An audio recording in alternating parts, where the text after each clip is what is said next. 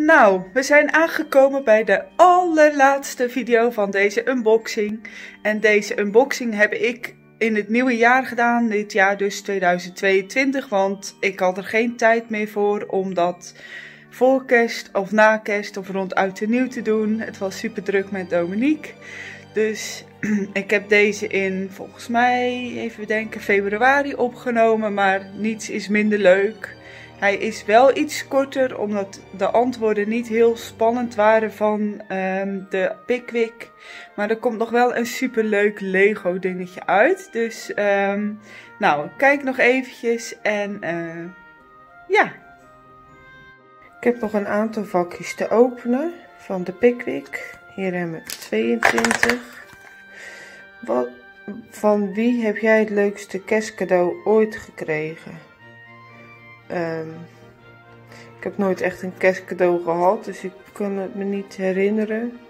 Oh, ik heb wel eens een aantal jaar terug kerstcadeaus gehad, maar die uh, heb ik zelf om gevraagd. Dus niet echt het allerleukste of zo. En jij? Oh, nummer 23. Kerstbrood met of zonder spijs?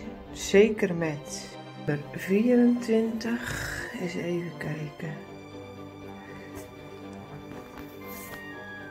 Dat is dan natuurlijk de laatste. Wat is jouw kerstwens? Dat iedereen een hele fijne en gezellige kerst heeft. Dat is mijn kerstwens. Dan hebben we hier de Lego nog, nummer 22. Daar zit weer een waggie in. En dan nummer 23, die zit hier zo. Daar zit ook een waggie in. En dan nummer 24, die zit hier. En daar zit de kerstman in.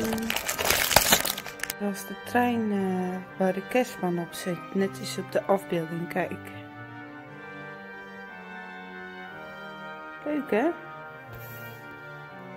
Nou, super leuk dat je nog helemaal deze video tot het einde hebt gekeken en dat je alle video's hebt gekeken. Heb je dat nog niet gedaan, kijk dan even in de beschrijving, daar zet ik alle eerdere video's ook eventjes in. En, nou, hele fijne dag nog en tot een volgende video. Doeg!